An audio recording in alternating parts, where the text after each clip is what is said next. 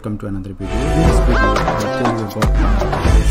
Power Pages is a new pillar of Microsoft Power Platform by using which you can create more flexible pages for portals, right?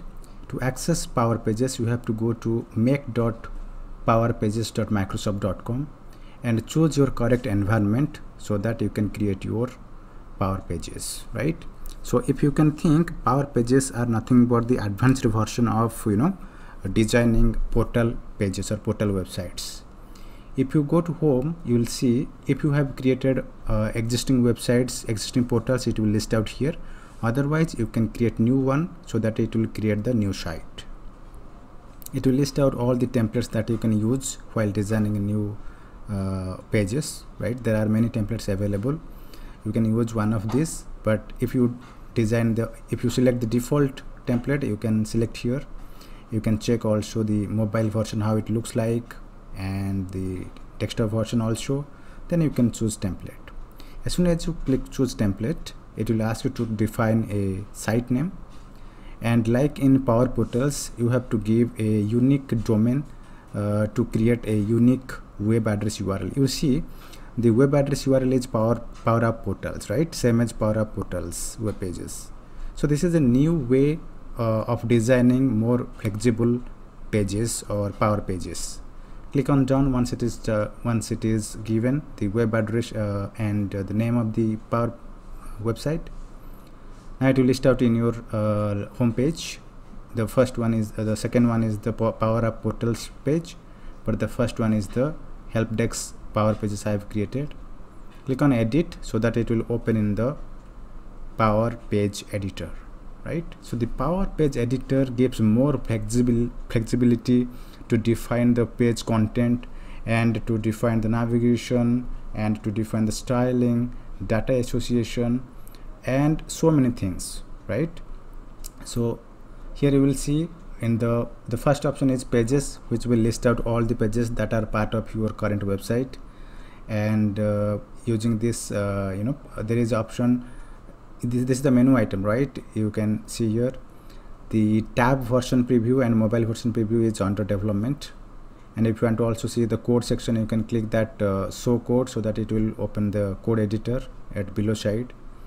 Uh, this is same as you know power portal editor studio right? Now if you go to styling you will see there are many themes available inbuilt themes. You can define your color palettes. You can design the elements html elements. What should be the heading? What should be the button color so you have full authority to design what will be the styling of your power page right? So this is similar uh, kind of experience that you are uh, having in power apps portal uh, customizations right in studio. Now like that we have tables here okay? In the tables you will find uh, you can create if you click on data you will find uh, uh, many tables that are part of your dataverse if you want to create new table you can create new one so that uh, you can create new table. Otherwise you can search the other tables which are part of your dataverse.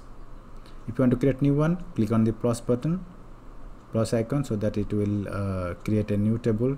You have to provide the table name and table details. But if you don't want you can just ignore cancel it and you can search the existing tables which are part of your dataverse in other table section right? If you go here and the point here is if you want to associate student which is an existing table you can you can search here as a student and you can uh, edit the data here because the table data will be loaded practically here in the view. So this data section give you more intuitive uh, screen to understand the data inside tables which is part of your dataverse in the setup area you will find many options like identity provider table permissions progressive application web application uh, settings all that right? Like that in the identity provider you have local sign-in azure authentication social authentication.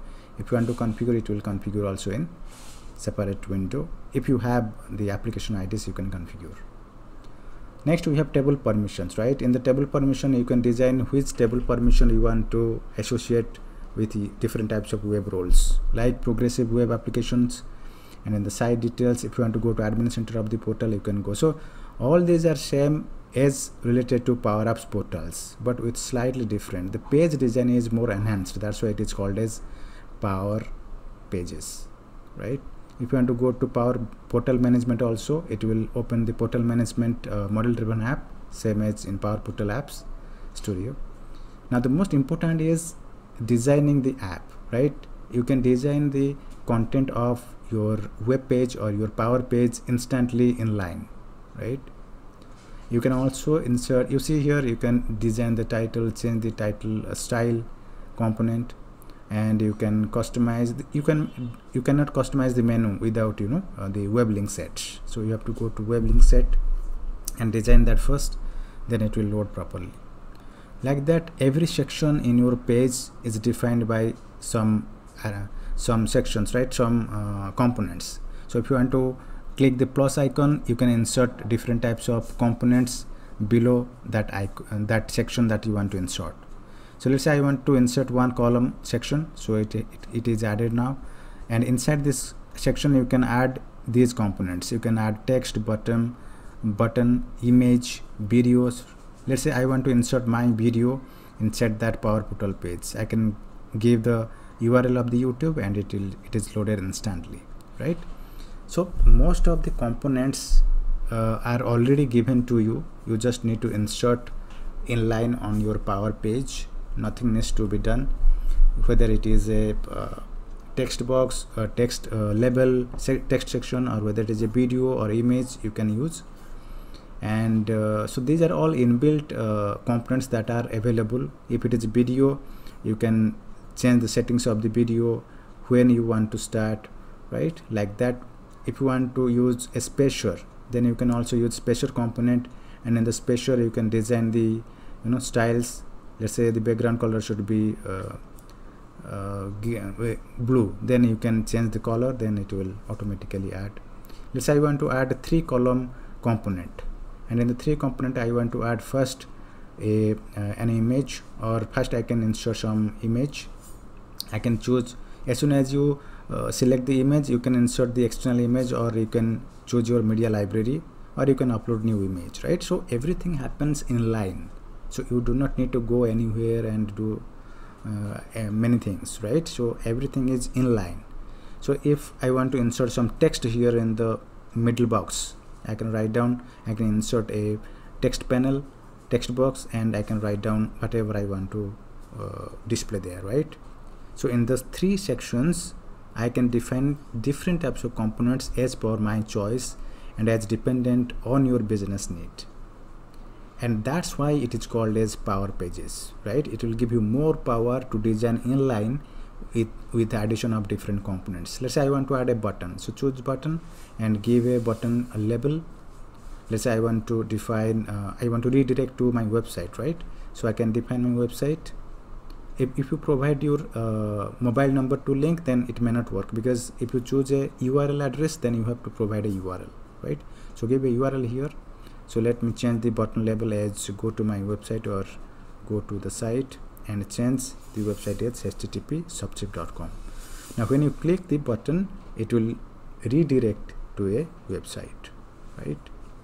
If you want to associate another web page of your power pages you can choose the second option. Now in the next i want to associate a youtube url then i can associate. I can choose the you know drag and drop edge to make it resize accordingly and the padding and the spacing are already defined in the styling right? If you see that how this uh, is happening how uh, it is defining the padding styles that is already defined in the styling in the left panel right?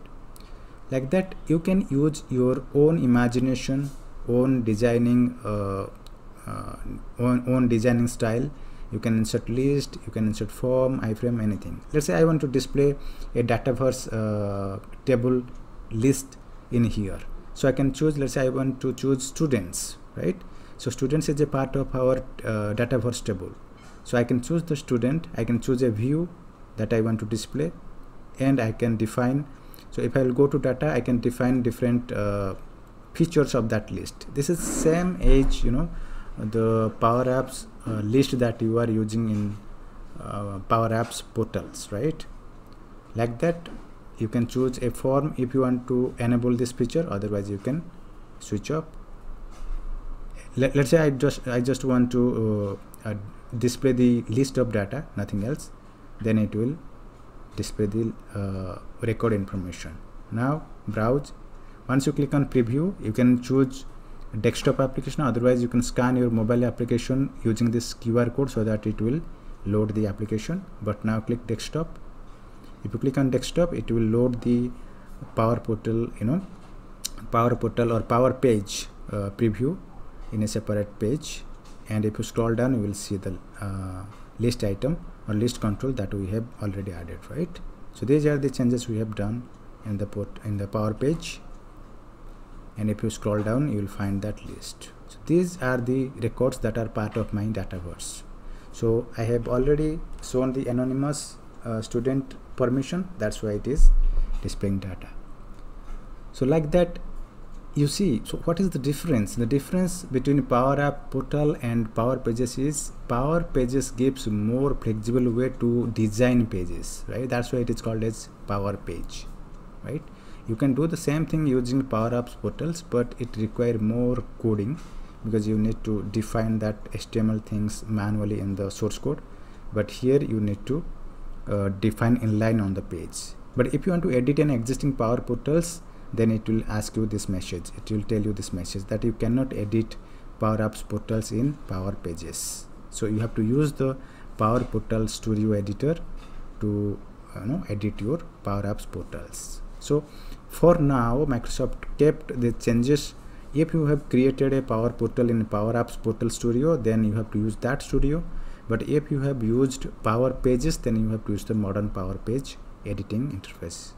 And this power page uh, power portal studio is uh, you know more restricted right? You the page design is very much restricted. But uh, in power pages it is very very flexible to design the page um, which is better way right? That's why it is called as power page which is part of your power platform ecosystem now if, if, if you can edit again it will load the power page and you can do whatever you want to change on your power page. You can add new pages.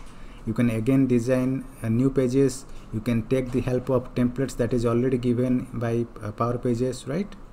So it depends on you that what you want to do. Let's say I want to insert a form right? So I can click on new form. If I want to insert a form basic form uh, for a specific entity like student I can choose student as a table then select the form for which I want to display uh, on the power page so that users can create the record using that form. So I can click on OK so that the form will be displayed on the screen on the page. Here you can decide whether you want to create a new record or update existing record right in the form option on the submit option. And here you can choose whether you want to display the reCAPTCHA or not now once it is done click on preview to see if the form is displaying on the screen or not.